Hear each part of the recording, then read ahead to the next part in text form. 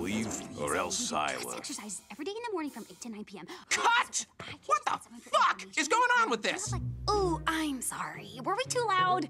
I was just telling him about the Hazbin Hotel. Not at all, princess. It doesn't bother me one bit